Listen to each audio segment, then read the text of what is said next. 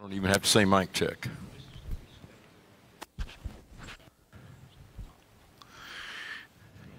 All right, thank you, sir. Open for forum. I'm sure we're going to have people drifting in.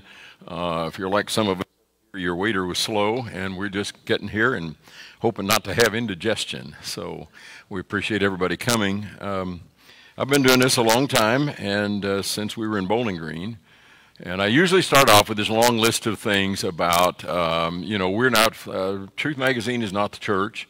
Foundation is not the church. We don't set brotherhood policy. I think we all understand that, but um, we've been accused of that by people in the past, so I always like to make that clarification.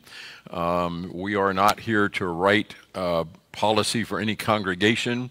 Uh, when somebody says we're doing the work of the church, my question is, which church are we doing the work of? Or do you think somehow the universal church has a work on earth that we should be doing? And maybe that's a question worth exploring. But today we're here to talk about, and we have the gentlemen up here who have appeared at the 11 to 12:30 sessions. And so we're starting with the general theme uh, to go back to Mark of, of unity. The Lord wants us to be united. Some of his last words on the earth in John 17 were that believers might be one. And yet we know today that that prayer has not been answered, and so that's an area to explore. And sometimes unity of Christians is shattered when Christians misbehave and need to be disciplined, as Jim was talking about just a little while ago. And there's a whole bucket of questions that we could explore with regard to uh, to all of that. And then Brother Max Dawson, who I'm happy to say, I haven't seen you for a while, Max. I've seen some of these other guys since then. We're glad you're here to tell us about leadership. And you have the advantage or disadvantage of not having spoken yet. So we don't want to tread on your material, but uh, we'll give you a chance, uh, maybe even let you go first and say what's on your mind with regard to that. Um, so wh- why don't we just start with that? Uh, I'll go to the end there and ask Max what, uh, what do we need to know or what are some relevant questions that pop to the surface with what you're concerned with in your material? Well, when I talk about leadership, we're talking about developing future leaders. That's going to be the primary thrust of, of uh, my presentation tomorrow. We'll talk about what happens when we don't prepare, and then we'll talk about how to prepare.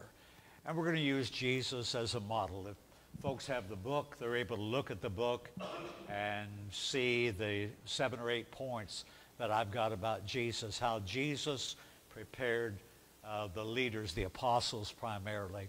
And uh, we'll have a few things to say about that. Okay. How do you see that part of the track relating to the, the previous two speakers, to what Jim and, and Mark have talked about? Well, Jim actually, his talk had a lot to do uh, with uh, elders being responsible for holding people accountable. Yeah.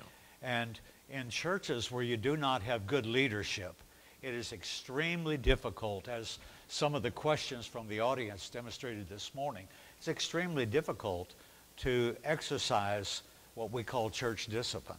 Uh, people resist. Uh, who gave you the authority to bring up discipline? It, you know, all those things that happen in a, in a men's business meeting. But even among churches that have elders, it is still difficult. Uh, elders have got to have the courage and the faith and the trust in God uh, to carry out what God says. Uh, you know, th- these aren't things that are optional. Yeah. Uh, I know I moved to one church a number of years ago, and their practice was when someone quits, take a pencil and draw a line through their name. That's as much as they did. And when I began to preach on church discipline, uh, several people thought I was inventing a new doctrine. Uh, it's just something that had not been addressed. Of course, that's been more than 50 years ago.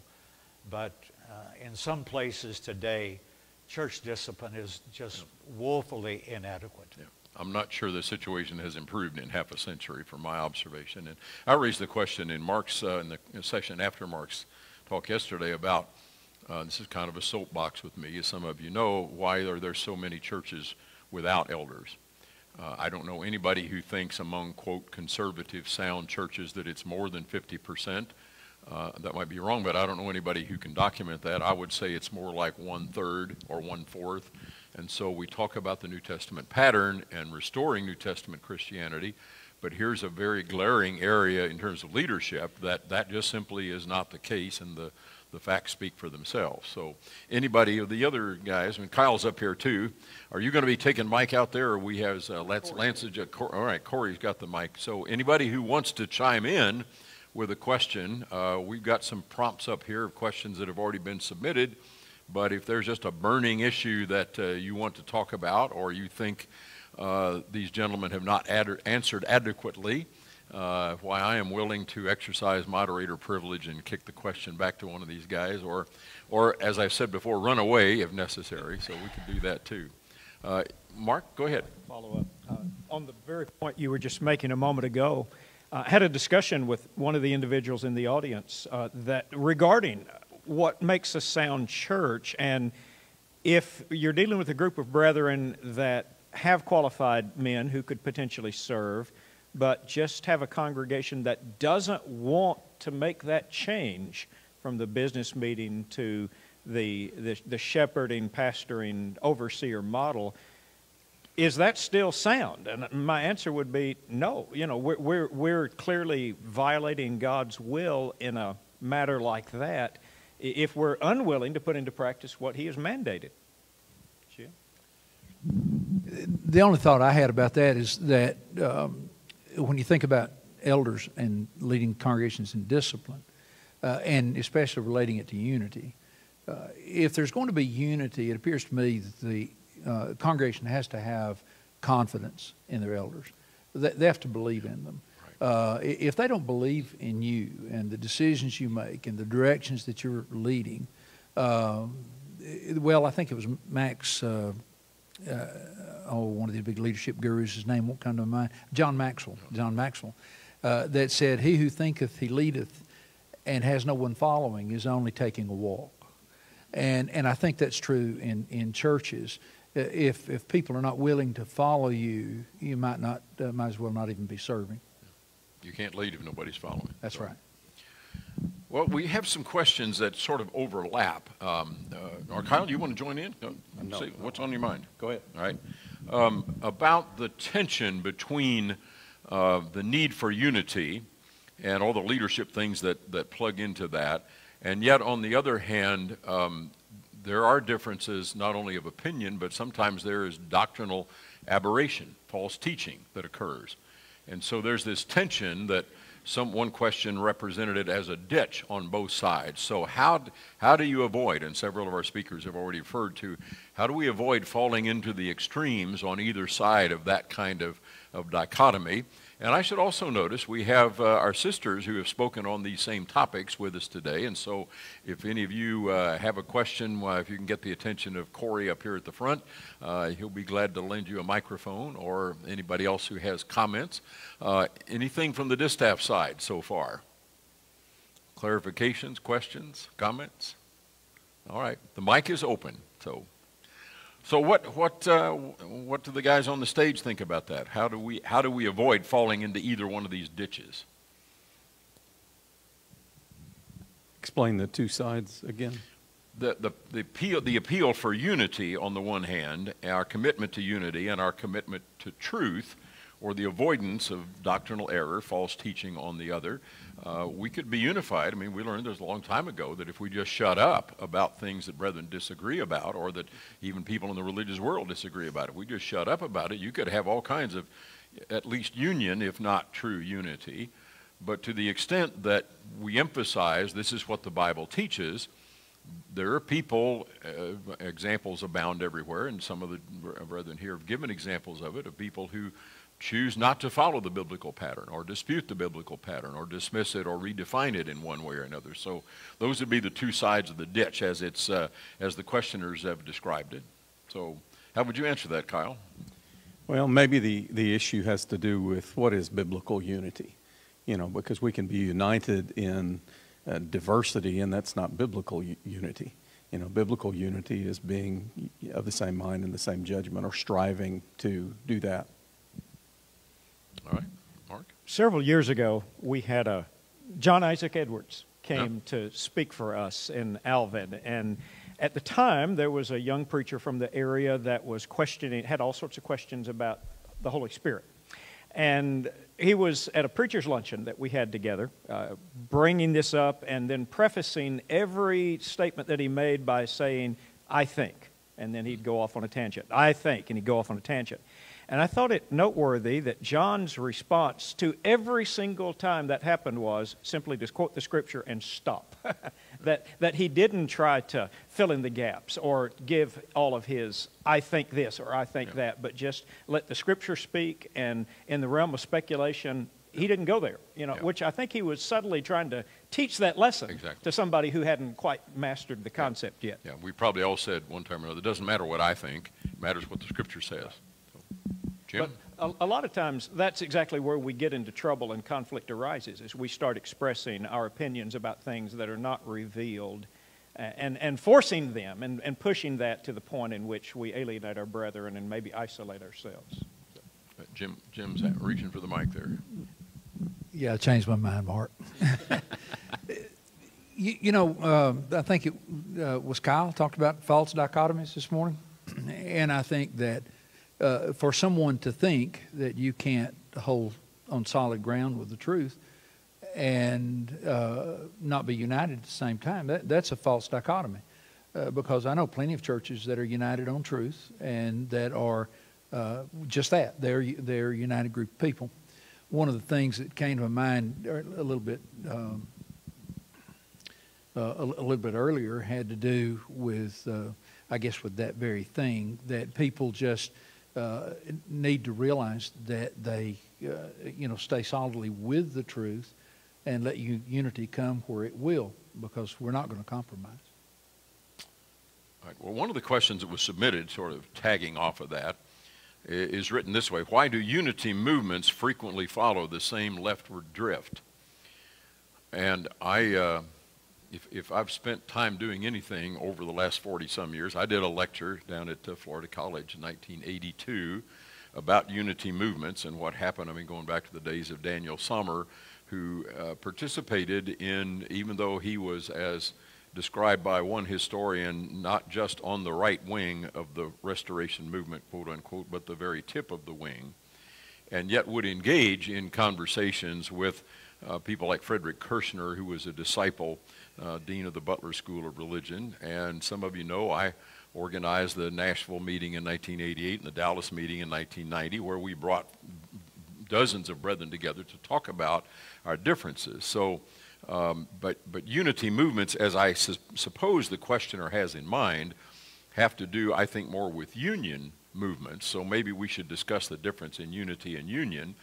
And I think the reason, my answer to that question would be the reason they tend to drift leftward is because that's a way to have the appearance of unity. The, the more questions that you're willing to give up your scruples on or to accommodate other brethren, the more brethren you kind of draw within a circle.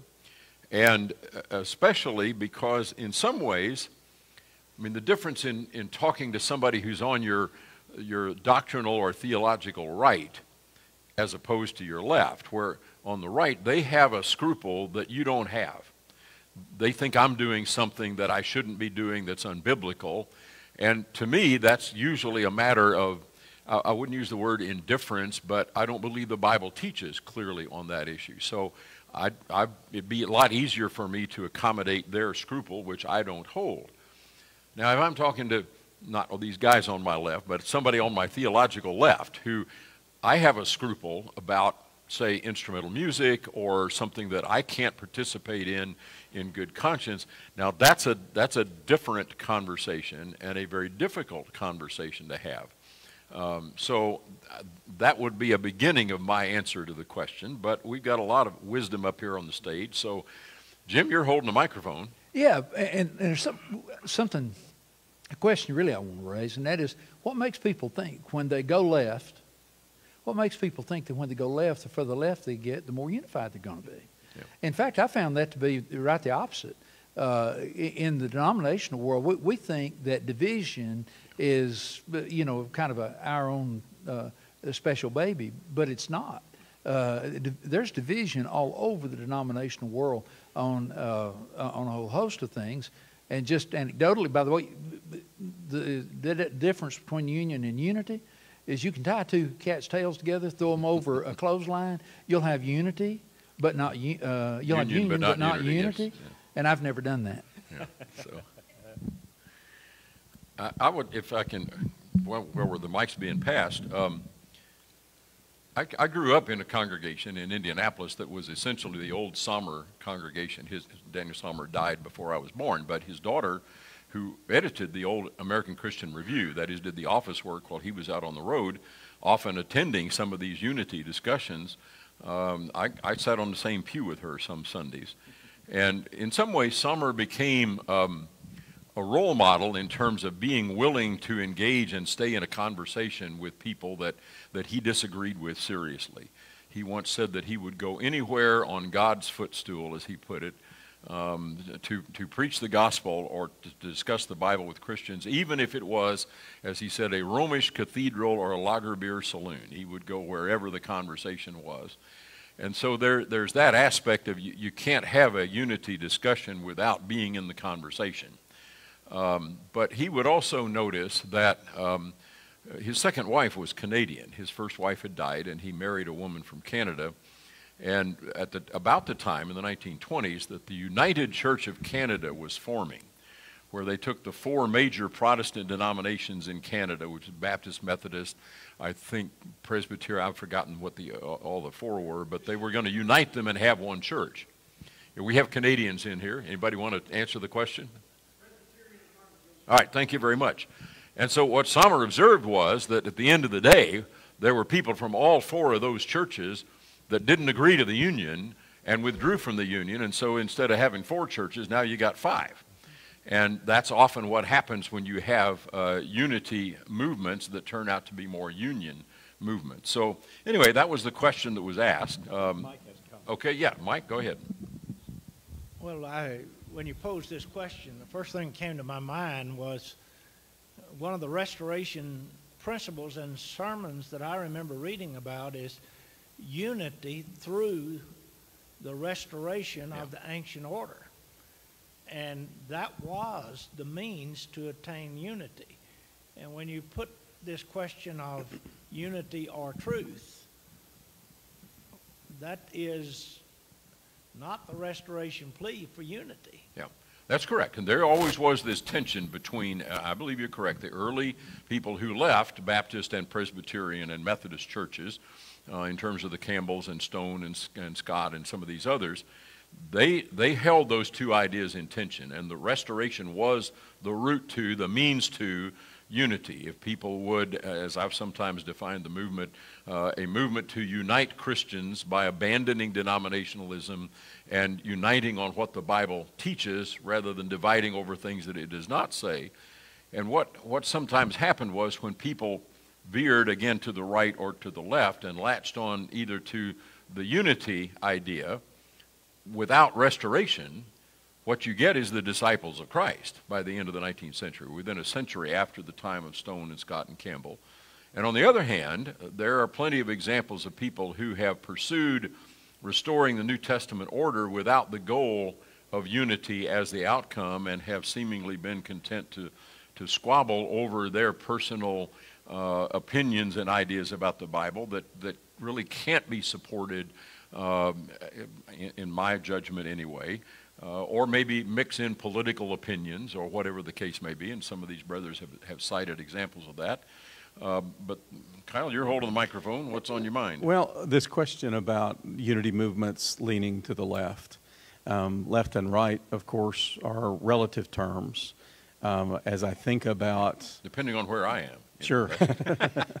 um, as we think about the restoration movement, it could be described in one sense as a unity movement, but I don't think of it as leaning leftward. However, uh, in recent generations, I think that's true that the unity movements have leaned more to the left. Now, is that is that an accurate assessment of the restoration movement, or would they have been perceived as leaning leftward? Well, it depends on your perspective, I suppose. Yeah. I mean, the, the lean to the left in terms of what produced the disciples of Christ uh, was, I think, an abandonment of the one pole, if you look at them as two, maybe two foci and an ellipse or something like that, the more that the, the idea of restoring New Testament Christianity was viewed as divisive, and, and it has been divisive, and in some ways it is divisive. It calls for people to leave denominations, to abandon denominational teaching, to leave creeds behind, and unite on the Scripture. And if, if you don't think that's a good idea, if you're creedal or you're willing to abide by what the creed says, you're comfortable in the denomination, that idea is going to appear divisive. I mean, it is a radical idea in some ways. Um, so I, I, wouldn't call it necessarily left leaning, but it could appear to be uh, radically left in some people's books because it calls upon you to disrupt the status quo, if you want to look at it that way. Those, depending upon the creeds, might have considered themselves conservative. yeah, exactly. So, all right, question down here, Corey. This is more of a comment on the original uh, question. And I was just thinking of a passage that has already, Bobby Graham, I guess, has mentioned earlier, Ephesians chapter 4. We're just thinking about all of those roles in verses 11 and 12 uh, the apostles, prophets, evangelists, pastors, and teachers. If they kept the attitude, like in the first part of the chapter, lowliness of mind, meekness, long suffering, but then did in verse 15, they spoke the truth in love. That's all you can do. And so with, with that, you know, like as Paul would say, he had this spirit of faith that he believed and he spoke. So here, all right. of these different categories of, of teachers that know the Word of God, have the right attitude, and then just speak it in love. All right. Good comment. Thank you very much. And in some ways, that sort of leads into what Brother Dawson will be talking about because this text is speaking basically of different offices that lead to growth. Did you want to follow up on his observation? Well, when you look at that text, you've got, uh, you also have in verse 13 the idea of unity. Uh, and earlier in that chapter, you have uh, the uh, endeavoring to keep the unity of the Spirit the bond of peace, one body, one spirit, just as you're called in one hope of your calling, one Lord, one faith, one baptism, one God and Father of all. You know, we're talking uh, in very broad terms about the religious world and how the religious world has addressed uh, unity or union. Uh, I, I think more in terms of the local congregation what, what have we done in a practical sense in our local congregation? At home, when we get ready to appoint men as shepherds or as deacons, we have a number of questions that we ask. And, and the fundamental question, and that, that we don't ask them, but I think for us here, is truth knowable? Can we know that there is something called truth, and can we agree on some of those terms that are found? Uh, can we agree that there's one Lord, one faith, one baptism? Uh, and so we ask questions about uh, prospective elders. We'll ask them, can you stand with the current elders uh, with respect to uh, marriage, divorce, and remarriage? can you stand with us with respect to gambling? Because those are things we oppose. There are other moral issues. Can you stand with us on the nature of the church? Uh, things that we understand are, are fundamental to, toward operating a local church and toward uh, elders overseeing a church. On the other hand, we know that there are going to be times when elders have disagreements with one another. But typically, it's not on fundamental issues that uh, comprise the one faith. Uh, typically, it's over matters of scruples, matters of judgment or opinion. And we ask this question uh, in order to promote unity, if you find yourself in disagreement with the other eight or ten elders on a certain matter, what will you do? And we want, and without prompting them, we want an answer from them. Well, I'm going to stand my ground. If it divides the eldership, divides the church, so be it. I'm going to stand my ground.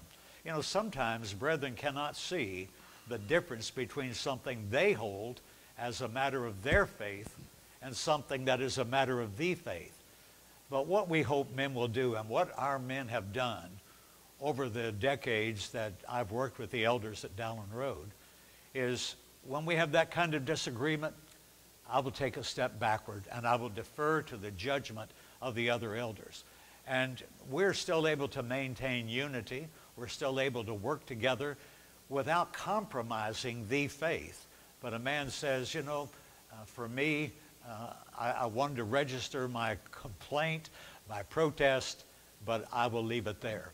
And when we have that kind of discussion, and then our agreement has been this among ourselves. When we walk out of this office and the congregation asks, What did the elders decide? We speak with one voice. No one says, Well, I didn't like it, I was against it, but the rest of the elders said, Do it this way. That's, that's disunity, and, and that's a disingenuous spirit when someone has that. Amen. So, can we agree that there are some things that are matters of truth? We agree on those things and stand together. Local church. Jim?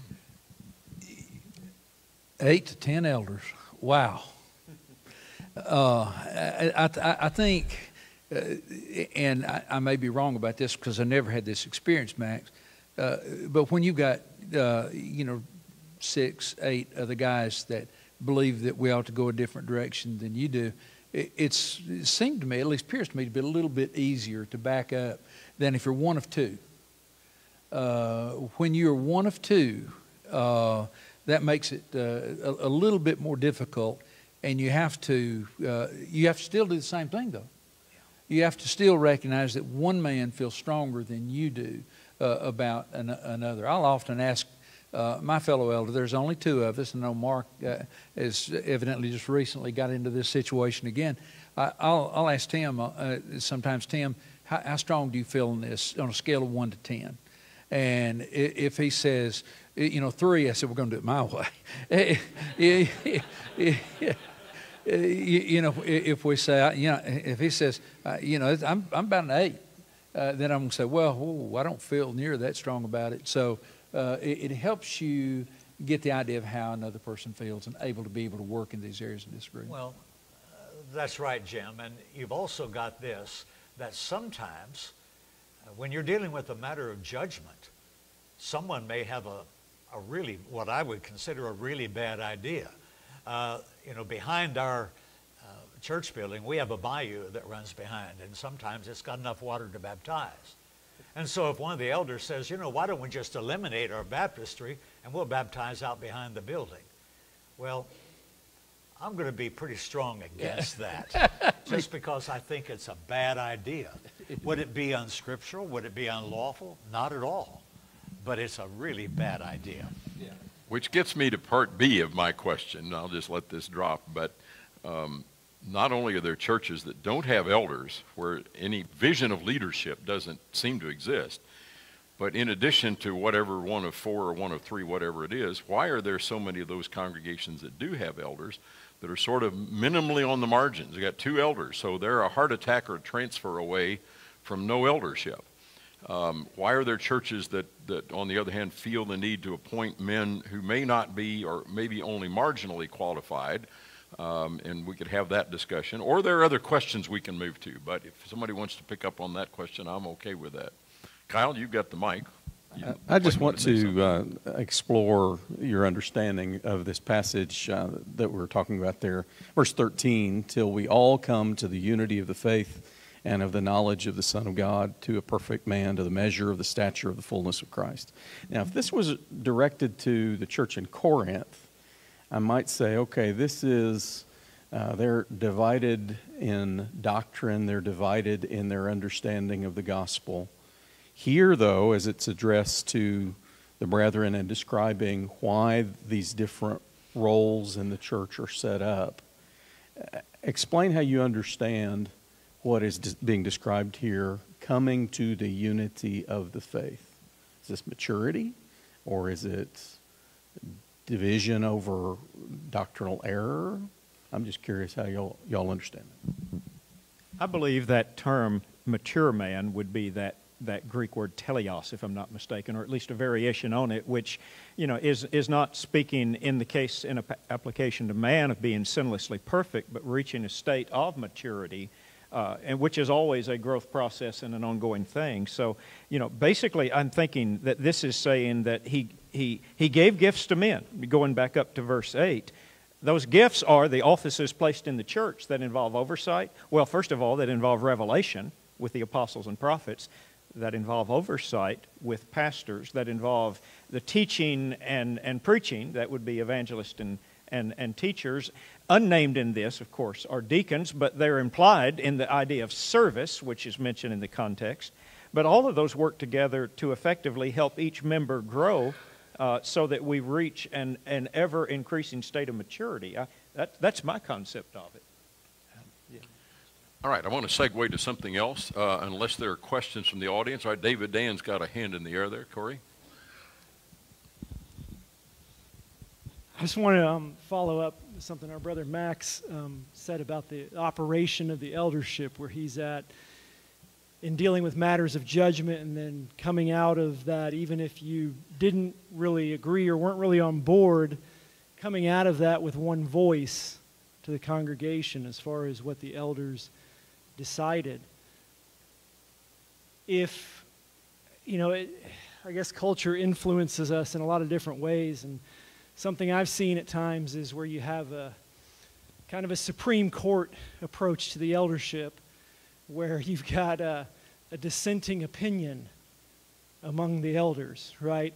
Not that it's formally published like the Supreme Court justices do, uh, but privately, where one of the elders may come out of the meeting where they've, you know, the elders have given their judgment, and one of them comes out and kind of privately, you know, I didn't really agree with this, and you know, some members are sympathetic to his view, and so, you know, he's going to let it be known that he didn't really go along with that, but he had to had to sort of publicly agree with it. I think we can recognize how destructive that would be to unity in the congregation so, what would you what would you suggest doing if you have a situation like that where instead of taking the approach that you've said you've taken, which is I believe the right approach, where you have somebody who is offering the dissenting opinion kind of behind the scenes, uh, was that man even qualified to continue in the eldership? And if not, what do you do about it? I was not able to hear the question.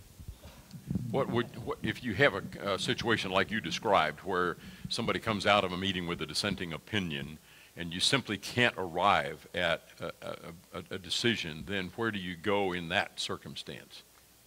Is that, David, is that the essence of your question? Yeah.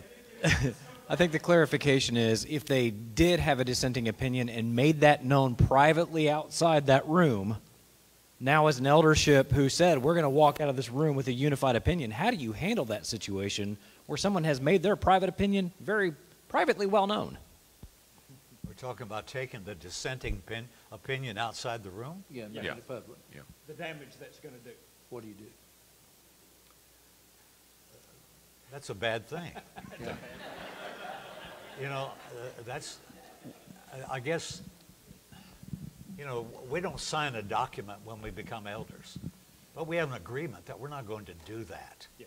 And, and it just, I, I could not imagine among our elders, I couldn't imagine someone doing that. And, and not to say that it wouldn't happen, but you know, that's, for us, that would be like saying, I can't be an elder any Yeah. longer. Wouldn't you have to have a discussion among the elders of, can you really continue as an elder? Exactly. If you are the dissenting voice and you can't agree with, with what the other elders are saying, I mean, that seems a pretty logical next step. Yeah, I, I think that's, you know, if, if someone goes out and starts saying, hey, the elders have this crazy idea, I'm the only one standing for the truth, uh, the other elders have got to address that. And, and that brings up a bigger question.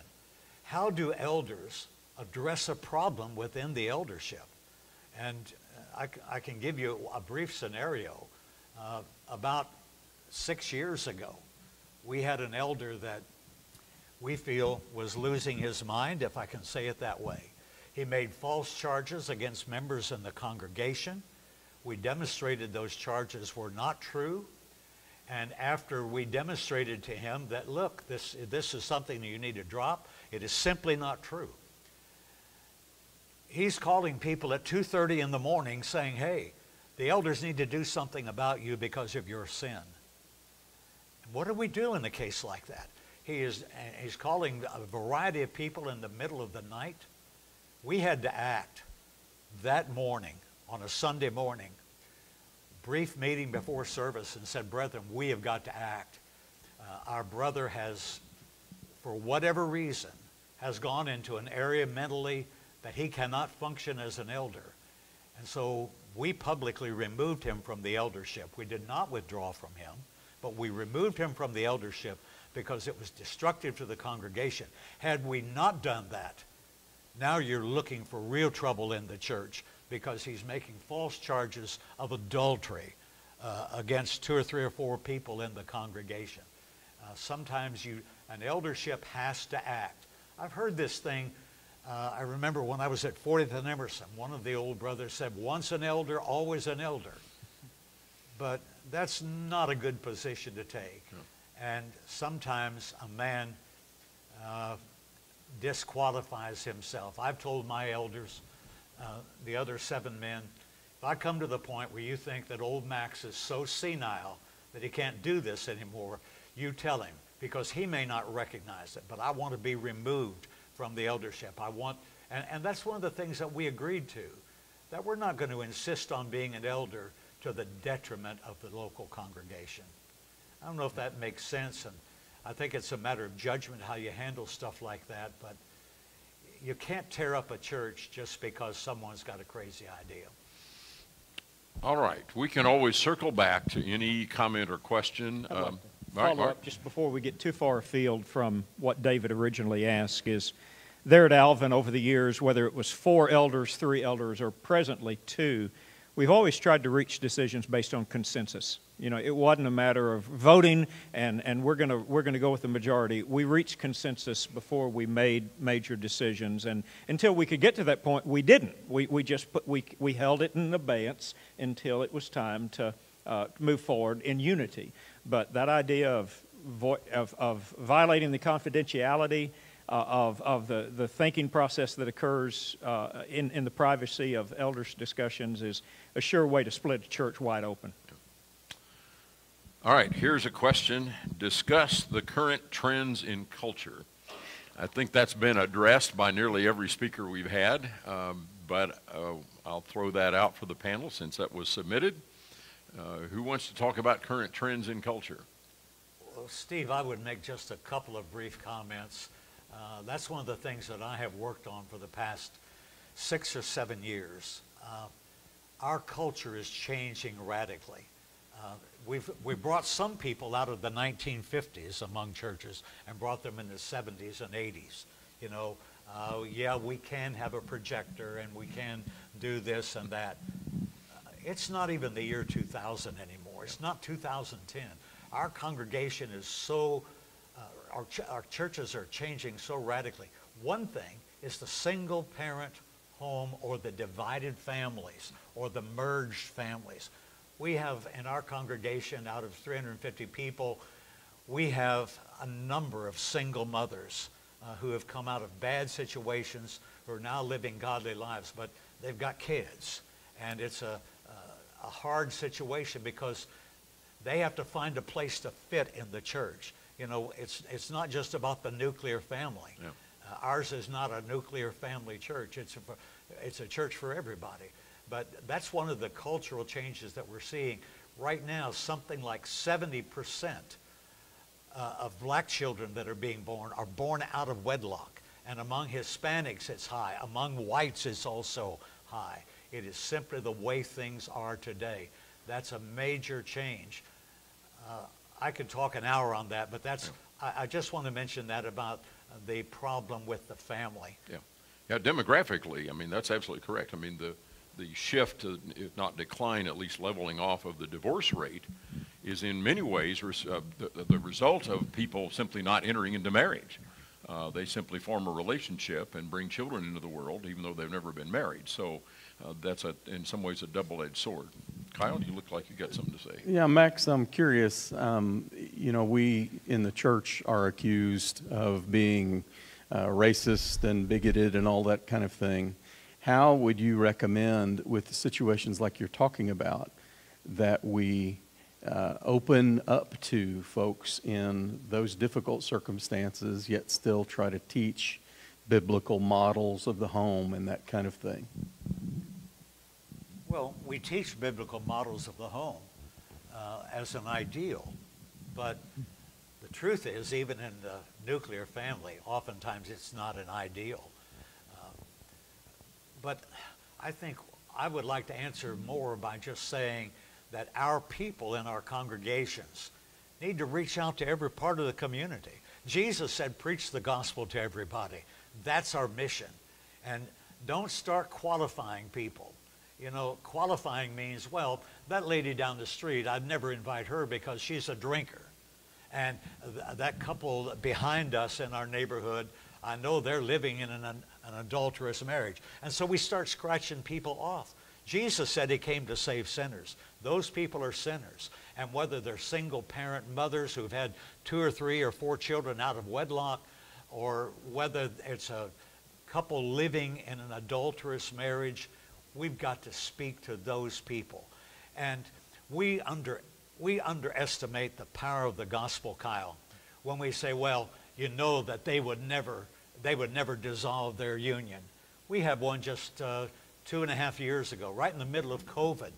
Uh, we ran across a couple, and this man was hard nosed against the gospel, but he began to read, and one of our elders began to study with him. And he says, Man, that's the truth. I believe what the Bible says. I'm going to obey it. Well, we didn't know he was in an adulterous marriage. But he's reading his book of Matthew and he comes across chapter 19. He calls his elder and says, What about this? According to this, I'm in an adulterous marriage. So what do we do? We, we look at the circumstance. We ask him to explain. We talk to his wife. I'm in an adulterous marriage. If the book says it, it's true. This man dissolved, he and his wife dissolved their marriage, and he died just about three months after they dissolved that union. Unexpectedly died of a heart attack. But don't underestimate the power of the gospel to change people's lives. I think that's where we're falling down. We have got to do aggressive evangelism in our communities. And it's not enough to put up a sign that says gospel meeting and expect people to find you. You've got to go find them. And one of the ways you're going to find people is by having an outstanding, excellent website. The website is one of the doors into your church. Uh, when, when people come to a community and looking for a church, or people have a life crisis and they're looking for a church, they're going to check you out online. Used to be people go to the yellow pages, but there was no information there. Your website has got to be first class. And if it's not, you're really passing up uh, an opportunity. The other thing is personal invitations. All the statistics, whether it's Barna, whether it's Neuhoff, uh, whether it's, uh, well, all the groups out there that do the surveys, personal invitation is the number one way you get people in your door.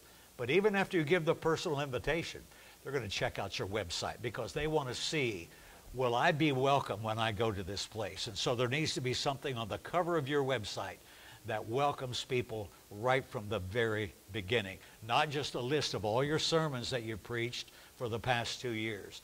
You've got to make your website welcoming, and that makes people think, well, maybe this is a welcoming church. And then when people show up, that's your field of evangelism. People are coming to you. They're coming to you to hear the gospel. And you've got to welcome them, make them feel comfortable.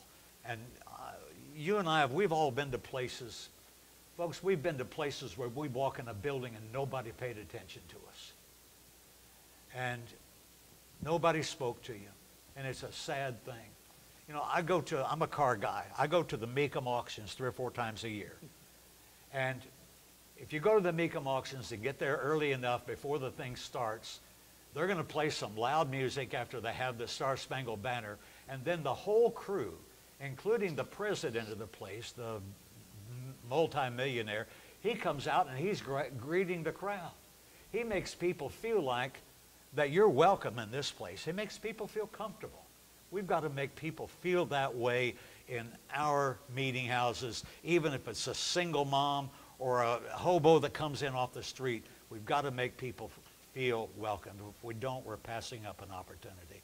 I'm done with the soapbox. Well, let, let me segue off of that and just say the part of not shortchanging the gospel is, I know in the Chicago area, I mean, we have in the Downers Grove Church and have, I've been there 15 years, and we've had, you know, African Americans, Hispanics from different Hispanic culture, Japanese, Filipino, Russian, I mean, every immigrant group that's ever come to Chicago winds up in, in DuPage County once they leave Cook County. And you can't have a gospel that's just a white gospel or say the gospel is different for a Filipino than it is for a Hispanic person or different for an African American person. And I think sometimes we have not perhaps made that as clear as we, as we could have.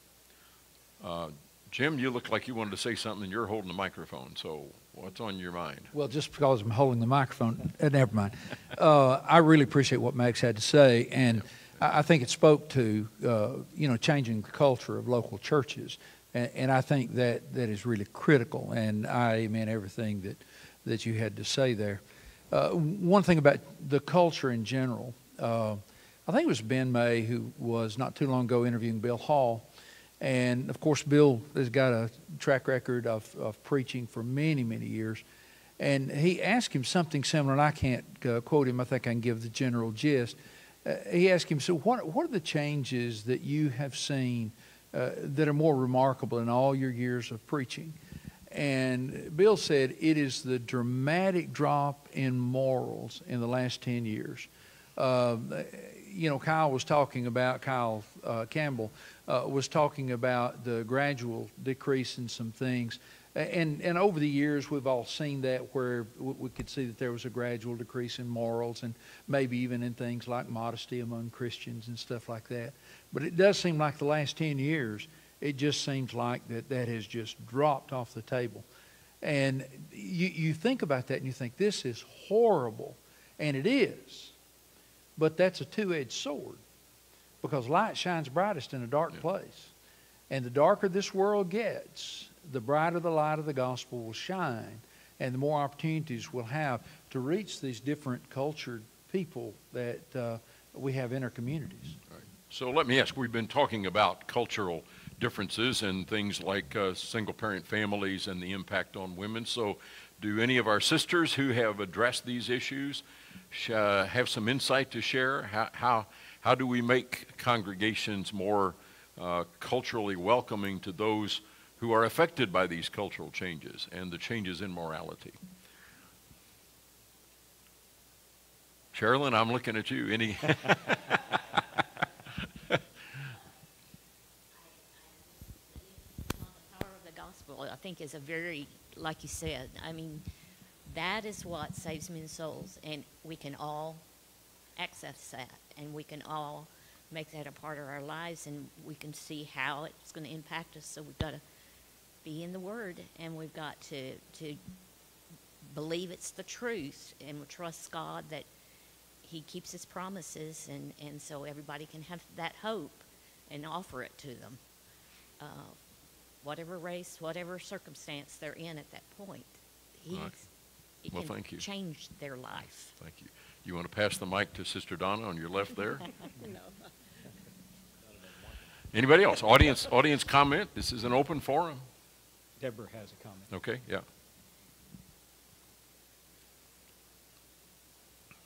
I would just say, whether it's visitors or new members that have come from a very different background, that we remind each other to be very patient in their walk with Christ and not expect them to be at a level where people who have been Christians for years are. They're not going to understand everything right away. They're not going to change everything right away. We've got to be patient with them. I see among our guests in the audience Brother John Weaver. And uh, would you like to offer any observations you've got on what's been discussed? What's that? Not to put him on the spot, but here I am. Uh, as relates to the cultural differences, I would just echo what Bill Hall said, that the dramatic decline in morals over the past few years is, is notable. In the educational sphere, I'll just say that that's notable on our campus at Florida College in a variety of ways, perhaps most visibly in the apparel which students wear, which is a reflection not of the college, but of the homes they come from, I, I would say, as a father. and so that's a, um, that's a huge challenge for us. Um, I think the other one that has been alluded to is uh, technology. Um, our children's minds are different than our minds are because they have been reared in a different information environment. And uh, even this conversation, the way it's occurring, reflects a print-based model of culture where having read things, we sit around each other physically and discuss them um, for an hour and a half. that is not our children's modality, um, insofar as their minds are plastic and have been trained by games and web and social to think um, very differently than we do. And that has a profound influence, and we think not only about evangelism, which Max was talking about, but just even reading the scriptures. And I would just, I'll just add this one observation. Um, at the root of the restoration movement is an awareness of the scriptures that is detailed in its nature. We've talked a lot about patterns today, and the identification of patterns and the adherence to patterns requires a certain attention and a, a, um, a an ability to grasp at the, at the minute level uh, nuances of texts and their implications. Um, I'm not saying that our children and the younger generation can't do that. What, I, what I'm saying is, is that the way they do that is different than we have grown accustomed to. And the way they read Scripture, I find, is different uh, insofar as there is a much less um, ability at some level, but willingness to be sure to pay attention to Scripture in, for uh, long periods of time. And that's, that's profound when you think about the implications for our, for our churches and our, in, our, in our culture. Um, and then I think finally I would say um, um, the the culture that I see our children in right now, I'm thinking about 18 to 22 years old, is one in which there is a desire for truth. That's I think that's true across people generally. But the desire for truth is um, is conditioned by a culture in which if there is a perceived exclusion of people based upon tradition or their social identity or their denomination even. Um, that pursuit of truth can get shut down. In other words, we live in a, an arena in which people's perception of, of justice as a matter of, of inclusion within groups is paramount. And so what I find in talking about restoration movement and Bible is, is if we can talk about Scripture, that's key. But if we emphasize uh, our identity over against other groups' identity, that's difficult for our students to, to swallow. And I think that's a real challenge in our culture right now as it comes to um, Christian teaching. So those are those would be a few of the cultural shifts that I would see. And, and then, you know, we haven't talked about this, but the reality is, is that most Christians don't live in North America. And so culturally, I think that we're needing to think through how, at, a, at, the level of spreading the gospel, we're, we're increasingly needing to look out beyond our American culture um, for our impact. Thank you, John, very much. And um, the search for truth that you mentioned, I mean, this is an organization that uh, focuses on truth. It's, it's in our, our flagship, our masthead, whatever. And of course, as you say, everybody will say they're interested in the truth except maybe Fleetwood Mac, who sings Tell Me Lies, Tell Me Sweet Little Lies. But everybody's interested in the truth, whether they can handle the truth or not. I think that's an important touchstone. And it kind of segues to another question. Uh, there's some others that I wanted to put out on the floor, but uh, how, one thing that I wrestle with more and more as my grandchildren get older, approaching college age, is how, how do we How do we inculcate these? How do we pass this torch back or down that searches for truth and that emphasizes the biblical detail that John referenced and that pays attention to the difference in union and unity? We all generally in this audience are probably going to say something very similar, but there are a lot of gray heads in this audience. Uh, we don't have many young people present. How, how is it, how, and maybe it goes to the leadership, quite future leaders that, uh, that Max talks about. So Can I- I'll just throw that uh, bag of questions out. Can I tag something on to that Sure, question? absolutely. In light of what Brother Weaver was talking about, um, I think it was Jim that mentioned sometimes they don't ask the right questions. We need to help them see what questions. How can we help them to see the importance of distinctiveness or the differences that exist? They may not want to talk about those things. How can we help them? Steve, we had a comment back here. Corey, Let me yeah. get that in before we get too far into the next topic. everybody I know can have different experiences. I'm on a learning curve with the rest of you about what you've been discussing, how to reach out, how to work with people coming out of this tremendously different culture. We had put out meeting announcements in the community, and nobody came. A month later, a young girl about 20 years old just walked in. She had picked that thing up and make a long story short, I had one study with her and baptized her.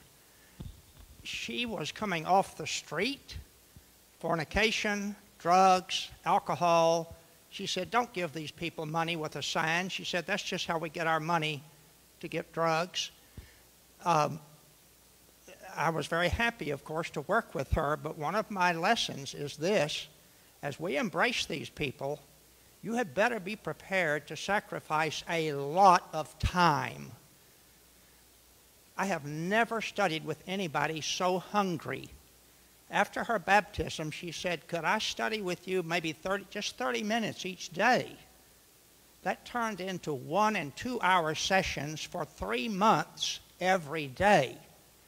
And that doesn't count the time she'd call in the night or she'd be at work on a break and she read a verse and she didn't understand it. Uh, so, anyway, maybe that's enough to get the main gist. What part of what I'm trying to say? We need to reach out to these people, but you, you have got to be prepared because they don't have a background.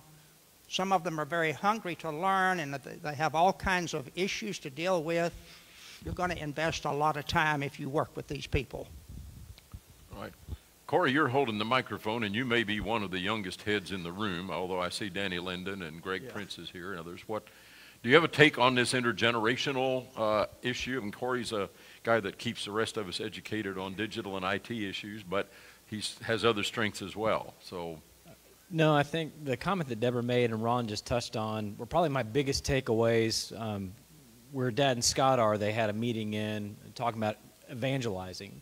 And I made the comment to Ron last night, it hit me that if we are out there sowing the seed indiscriminately, the assumptions and expectations I've had of every Christian in that church needs to be tempered with that. That to Deborah's point, they will not be at the level of expectation that I feel like I grew up with. Oh, you ought to know better. They don't know better. And so it prepped my brain for this, I guess, destabilization, this, this set of norms that we all carry. Well, that's going to be very individualistic as somebody's on their path and learning about and able to, to digest the milk and meat in the various stages that they are. And so if we're truly doing our jobs, uh, my lesson, my takeaway was I need to temper my expectation to the individual, just like God does for me, to know what I'm capable of handling. And so I think as we evangelize, you know, again, I'll just echo Deborah's, Deborah's one word patience that I'm going to have to have and time that I'm going to be willing to permit and, and give of myself. you know, to that end, uh, it impresses me reading. I love to read history, and in particular, uh, some of the speeches or the, uh, the the things that have been written by Abraham Lincoln were so steeped in scriptural allusion. It was a part of the drinking water. It was a part of the air of that day and time, and that extended up probably until the mid '50s. You know, and and yet it, we live in an age far beyond that, where that underlying basic assumption that people know these biblical allusions and it resonates with, a, with something they've learned in the past is not there at all. And so it's a new world for us. It is, and something that scares me even more is that when some of our own people can't even say the books of the Bible. That's part of the changing culture. I mentioned some other names. Um, you're standing, Corey, you're standing next to Danny Linden. Danny, you got any thoughts as a younger preacher, younger person, part of a different generation certainly than mine or any of these guys up here, I think? Uh, I'm seeing kind of a push back toward the idea of wanting community again. You know, I think we had a rebellion against uh, the the organizations and the communities, all the, the civic clubs have gone that way where they've got declining membership and aging membership.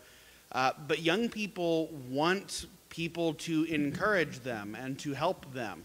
And unfortunately, wh- where they're getting it is a lot of times in these like LGBT uh, support groups and things online like that, but they're getting a, a body of people who tell them that they're going to be okay and that they can make it and that they uh, you know can survive the struggle they have in life. It's just another reason for us to know how important it is that we have good community as a church.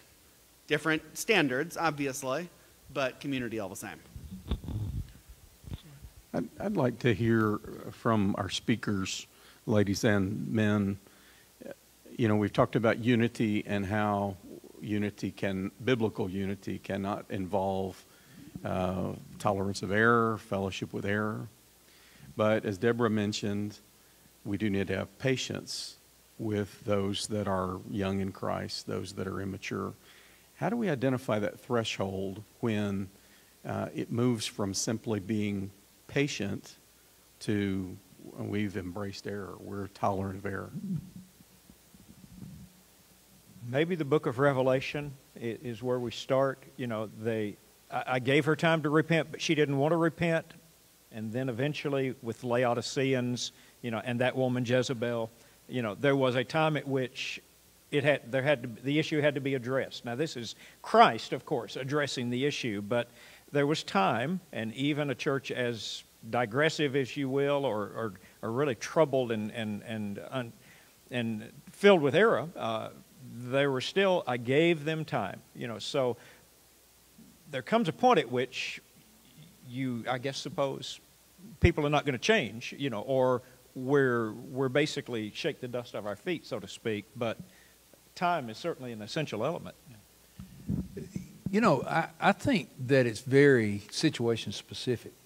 Uh, it, it, to, to try to give a definitive answer that'll be so general that it'll cover every situation is just uh, virtually impossible.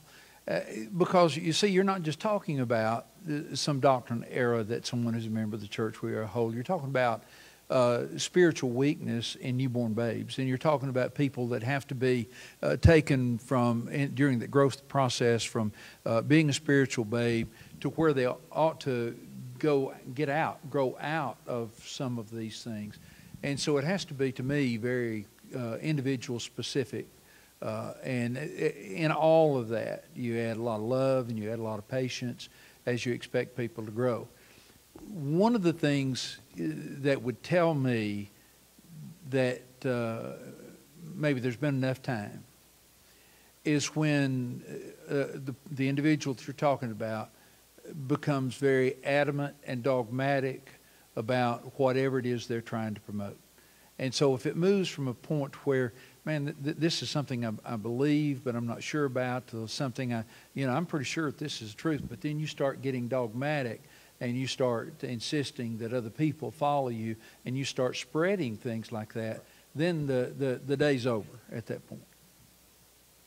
Does it work the other way too that uh, sometimes the end of the conversation and the end of patience comes when when people are at the end of the day after patience radically confronted with this is what the Bible says, this is what Jesus teaches us. And your choice is you can follow him wherever that leads or you can do something else. And often that kind of a, of a difficult conversation is where the parting of the ways comes. And so people have to be confronted with the truth of the gospel and, and challenged in some ways. A- am I going to follow Jesus or is that just a slogan? Am I going to do the hard thing in following all of the hard things that Jesus did? Max? Well, I would just make an observation uh, going back to Jim's talk today about uh, Matthew 18, 15. You, brother, you see your brother sins or sins against you, uh, go and tell him his fault between you and him alone. That is one of the most difficult commands that Jesus gave. We had a circumstance a number of years ago, and I, the story's too long to tell the whole story, but uh, a, sister called me and said, we've got a problem. Someone's about to leave the church because they weren't invited to a, an event this weekend uh, that some of the other Christians were invited to. And someone's got to go talk to them. I said, well, I don't know anything about that. You evidently know something about it. Why don't you go talk to them? Well, I can't. One thing and another and another and another. Anyway, uh, it came down to this. You're either going to be a disciple of Jesus or you're not. You cannot pass off what Jesus said belongs to you as an individual. You can't pass it off to someone else. How many times uh, as elders have someone come to you and said, hey, I got to tell you about a problem brother so-and-so has. Now, what are you going to do about it? Well, you know, you need to turn that around. What are you going to do about it? Because you're the one who knows about it. You need to respond. But it, it's challenging. But we come to those crisis moments whether we have to decide, is he my master or is he not? Am I his disciple or not? Wanted to clarify, I misstated. Uh, it was it was Thyatira, not Laodicea, uh, that I was alluding to earlier when it's when it spoke of, I gave her time. But uh, another example on the other end of the spectrum uh, was in years past, and I'll be as generic as I can here. There was a case where the daughter-in-law of an elder uh, committed adultery, and that was a situation where that elder determined we are going to act decisively and we are not going to delay this at all, and this is going to be dealt with in a very swift manner. He did that because of the implication that we got a double standard here. If we, if we drag this out, how's that going to look? Well, as it turned out, it was very successful for the church and for the individual who sinned because that lady was brought back. And so that was a case where, as Jim says, it depends on the situation. The, the need for giving time wasn't present. It was action was needed, and that action changed the dynamic and, and really the outcome of that particular situation. Well, Jim mentioned that the adamacy that someone may have. Uh, Mark mentioned time. I'm curious, ladies that were speakers, y'all have any thoughts on how you can make that distinction between this is tolerating sin and just being patient with someone?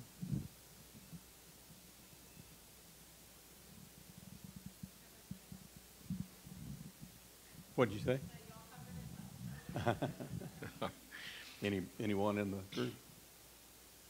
Ron's got a hand up. I think Alexander Campbell was the one that used the expression the learning distance. As long as that person will stay in the learning distance, keep working with them and realizing that you've got a whole bunch of levels of things they're having to learn and change and absorb. And so here's something obvious you're trying to address, and yes, you should keep trying to address it, but they may be learning something at a different level that will ultimately solve that. So, where I'm headed with this is as long as they keep coming into the learning distance, don't drive them away. Work with them until they walk out when they're no longer willing to hear this addressed as you address it from time to time. A couple of thoughts that I had to my own questioning.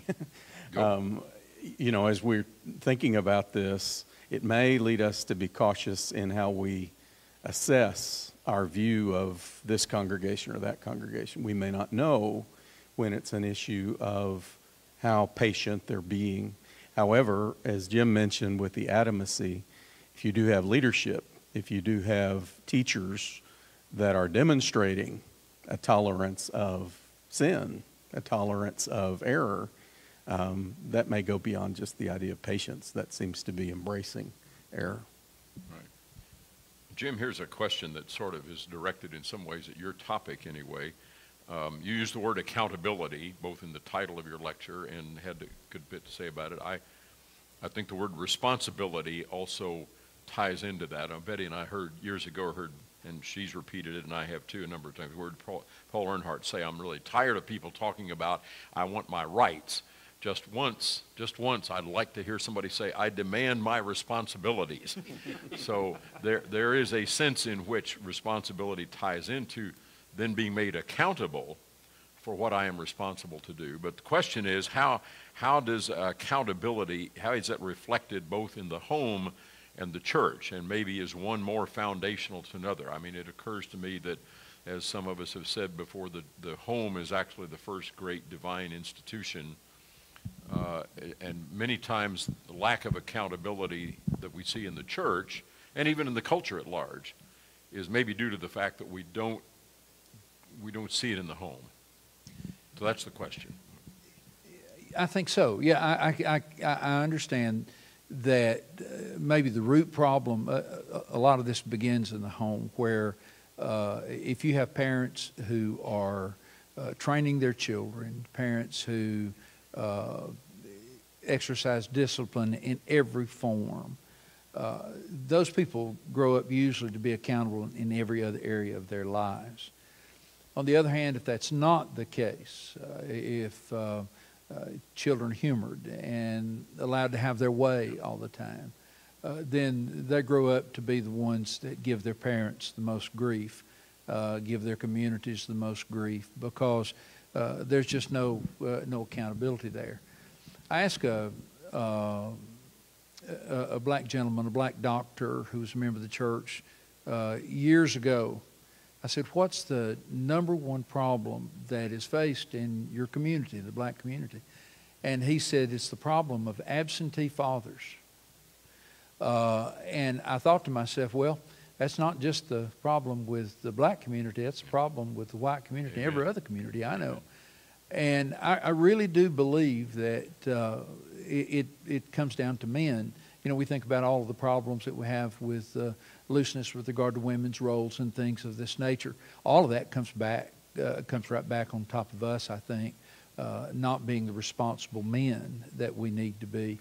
Uh, and, and, so if we have responsible homes, children that are taught accountability, how to have to behave within a framework, then it seems like to transition that from uh, the home to society into the church is a relatively natural thing. Yeah, for all the rhetoric that we sometimes hear about unwed mothers, for every unwed mother, there is a largely absentee father in, yeah. in, far too many instances. So it's something that has to be addressed on both sides of the spectrum. Yeah. Um, Steve Farrar wrote a book entitled Point Man, and it's one of the best books I think that has come along outside the Bible for men. Uh, the introduction to the book is worth the whole price of the book. It's really good. But he made the observation that the breakdown in the American home did not begin with uh, World War II and Rosie Riveter when she went out of the home and uh, uh, went into the workplace, and never came back. He said the real problem was in the beginning of the Industrial Revolution, where um, men uh, left the family farm or left the shops to go into the bigger cities, work on the assembly lines, and left the children at home to, under the care of the mother before that time, before the Industrial Revolution happened, uh, the boys would stay, uh, the boys uh, and uh, uh, girls would stay with their mothers un- until six, seven years old. And then the boys would either go onto the farm or uh, into the shop with the dads. They'd learn not only a work, something to do to make a living, but they'd also learn the character of, of, of their fathers. When the Industrial Revolution hit, that took the a man out of the home and left the woman to do the raising of the children. Then more and more public schools were depended upon, and that adds a whole new and different level to this where other people are teaching and raising our kids.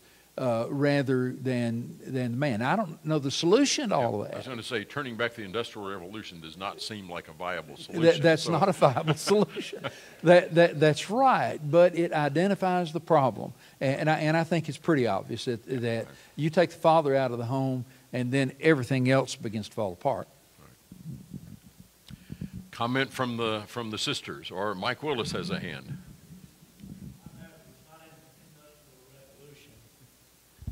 He was a logger. He went to work at daylight and came home at dark. And had a fourth grade education, mom an eighth. They raised seven kids, four of us being preachers. Now, they didn't do that accidentally.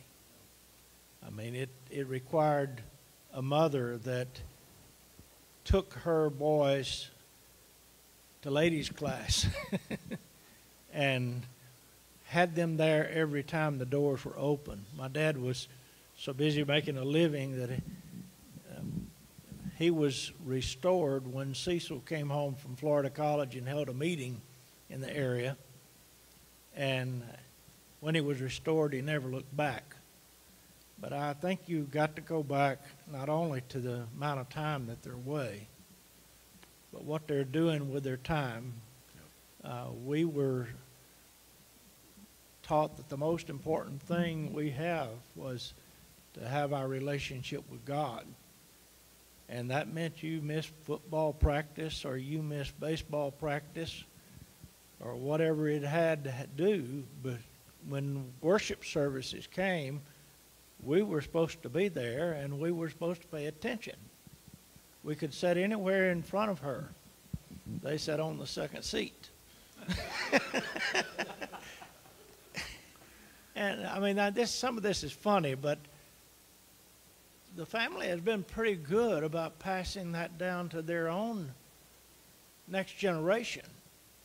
I see these parents hitting and missing for everything in the world, and then they wonder why is the church losing its grand its kids. It's not the church. It's the mothers and daddies that are not raising their children to have that kind of priority. That intentionality uh, that you that you're speaking of, I think, is so critically important that you you have to do that. We're down to five minutes, and I've got one thing I need to do before the end. But Jim looks like he's Well, I was going to say, getting his mic. a- amen. John uh, uh, Weaver and I had a, uh conversation about uh, Florida College and, and the, uh, you know, what you do with the kids that, that are coming Florida, because they came out of homes. Yeah. And, and it's, it's exactly the same thing that Mike is talking about. It's the kind of home that you come from. It's going to determine a lot of that. All right, I'm going to take the last few minutes here. Um, good friend of mine who's now serving as an intern at Downers Grove is with us, Greg Prince. And Greg, I'm going to ask you to lead us in a uh, closing prayer in just a few moments. But part of his um, assignment this summer that he's come up with is grew out of a conversation about um, a, a comment. This has to be one of the five most important passages in all of Scripture. And then the follow on question was Are there really five most important passages in all of Scripture? So Greg took that and ran with it and, and has put up online. Um, I will put it, again, it's on my Facebook page, but I'll put it there uh, unless, Greg, you can figure out a better way to get the link out here. But I would invite everybody to go to Greg's link and think about and answer the question what, what do you think are the five most important text in Scripture. And the way we've defined that is not just a single bumper sticker verse like today's the day the Lord has made or I can do all things through Christ, but some, something between a verse and a chapter. So not the Sermon on the Mount, not three chapters, but what, what in your view of Scripture are the most important, most fundamental, most foundational texts that either tell the story of Scripture or identify big themes in Scripture. And then there's a place with each one to reflect on why, why did you make this number one? Uh, Should my number two be number four? Would I bump number five up to three at some point? And it's the process more than the product that uh, we're interested in our conversation. But, but you can help us uh, this conversation. So uh, we'll figure if you go on my page or Greg's page, uh, there will be a link there that takes you to this survey that uh, is part of his um, entrepreneurial project, I guess you'd say, as part of the internship uh, thing that we're doing. So anybody else? Questions, comments? We have three minutes left. Actually, any of our sisters have anything you uh, would like to add? Yes. Sister Mitchell.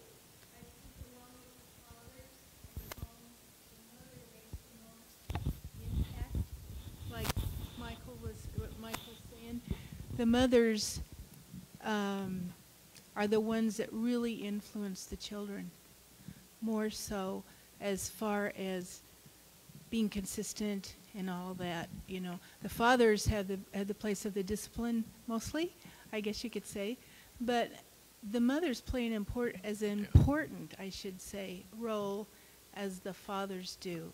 Uh, it takes a team. And the fathers can be supportive of the, of the wife, the mother, uh, and demonstrate that to, to their children. I mean, the, the best gift in many ways that uh, a, a mother or a father can give to their children is, is a loving, stable relationship of two parents, not, not just one or the other. I agree. So, amen to that. All right, Corey, somebody else. uh, tomorrow on, on the lecture I'm going to give on uh, building spiritual leadership in the local church. Uh, we're going to start with the mother's role in the home and how women uh, teach their children, and then we're going to work in, in as young as the children into the Bible class setting. But then as it, as she then goes to to uh, work with other women and uh, and on up and then how she eventually can uh, begin to encourage the men uh, in their roles. And she all in all this, she's going to keep herself in the submissive uh, sphere that she works in. And uh, so, but you got to start it early. It's uh, if you are hoping for that for your children or your grandchildren, you can work with them the same way. Uh, and uh, I think God's given gives us the means uh, throughout all His all our lives to be able to impact in our sphere. All right. Thank you so much. And thanks to everybody. Thanks to the gentleman on the stage and all of you in the audience. If you'll pass the mic back to Greg, uh, nothing else from the stage, then why don't we be dismissed in a word of prayer? Thank you, Steve.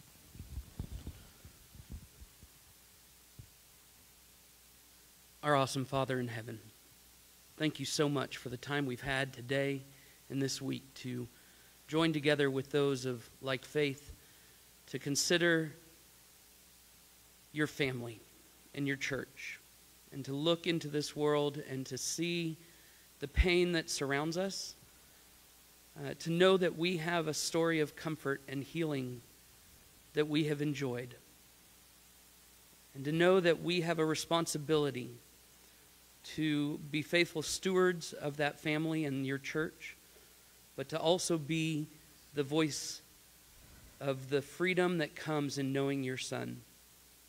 Help us to be the faithful stewards that carry that message to this hurt and dying world. That we would have a love for their souls and a care for their pain and a heart in ourselves to show mercy and grace with every word and with every action that we take. You have been good to us beyond what we deserve. And so we, as your stewards, look to share that with those around us. We're thankful for the men and women who have studied in preparation for this week and who have given us their voice that we can grow closer in a knowledge of your scriptures and that in all things we would bring honor and glory to your great and matchless name. Bless us as we go our separate ways this evening and help us to return again tomorrow to enjoy the rest of our studies, that your name would be truly glorified.